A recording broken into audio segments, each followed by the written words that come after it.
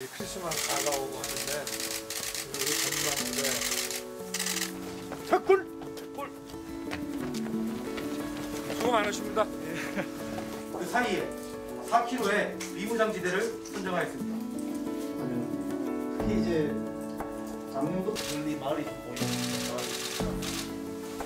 살아서도 백골, 죽어서도 백골이라는 이름이 정말 적들에게 두려움을 느끼게 하는 이 백골 부대가 정말 그 우리나라의 경제, 국민들의 행복에 튼튼한 그런 지지대라고 하는 것을 오늘 와서 다시 한번 실감을 했습니다.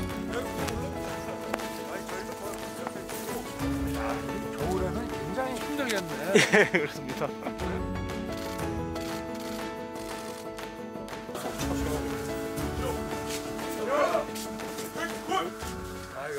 하여튼 많이 힘드시겠지만 우리 사단장님 잘해 주시죠?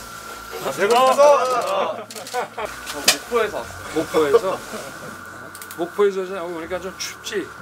어? 겨울에 맞습니다 이렇게 좀 바뀌었으면 하는 게 뭐가 있어요?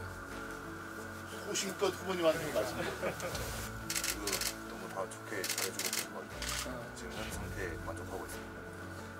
우리 애로사항 있으면 한번 우리도 좀 알고 갑시다.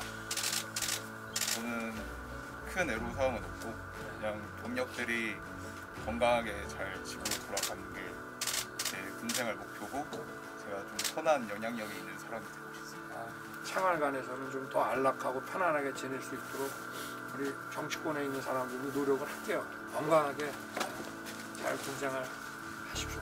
알겠습니다. 예, 만나서 반갑습니다. 백골사단 화이팅!